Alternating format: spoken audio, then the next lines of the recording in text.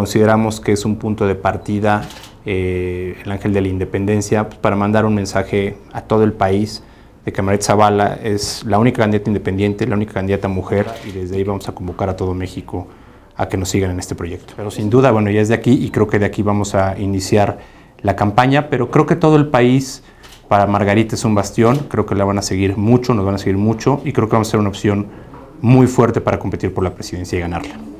Margarita desde hace tiempo, incluso desde que estaba en el PAN, ella había o habíamos dicho la posibilidad de que el financiamiento público se eliminara. Margarita siempre ha sido, yo diría, una luchadora social, una política que ha hecho eh, de manera eh, con pocos recursos en política ha hecho muchas cosas basadas en ideas y en proyectos que han permitido que este país también transite hacia la democracia. La campaña que vamos a tener es una campaña de mucha inclusión en todos los segmentos sociales. O sea, creo que tenemos un gran reto de inclusión y desigualdad en el país. Tendremos propuestas muy específicas, van desde las personas de la tercera edad, mujeres, jóvenes, personas con capacidades diferentes. Entonces creo que tendremos que buscar la inclusión para ir cerrando la brecha de desigualdad y que todos tengamos un piso parejo. Yo creo que es donde nos vamos a concentrar mucho en hacer propuestas. Lo que vamos a hacer es convocar a la gente a que acuda de manera libre. Por eso decimos que la política puede ser de menor costo, porque no se necesita dinero para estar llevando a la gente a llenar estadios como lo hacen los diferentes partidos políticos. Lo que está proponiendo Marita es elevar la inversión en infraestructura a niveles por arriba del 5% como porcentaje del PIB.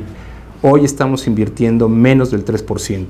En términos de infraestructura, lo que tienes que hacer es, por ejemplo, en carreteras, seguir conectando al país a lo largo y ancho para que todas las ciudades sigan desarrollando. Va a estar basada en redes sociales para poder llegar a la gente. Los spots que nos dé el INE tendremos que también pedir equidad con los spots que tienen los otros candidatos, que es una cosa súper dispareja. Un gran trabajo de voluntarios en calle. Realmente va a estar haciendo campaña en todo el país y visitando todos los estados de la República y las principales ciudades.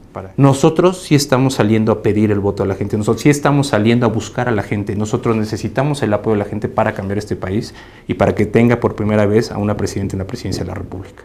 Creo que es una persona muy querida, seguramente lo que tendrá la responsabilidad el INE y el gobierno de México de proporcionar seguridad, no nada más a Margarita Zavala, a todos los candidatos que estén en la competencia, pero nosotros confiamos mucho en el apoyo de la gente para que la cuide y estemos en buenas manos. Eh, Margarita Zavala siempre ha buscado hacer política de manera distinta y siempre la ha hecho, desde que estuvo en el PAN hasta que se salió del PAN, siempre ha vivido congruencia en la forma de hacer política que ha sido de mano de, las personas.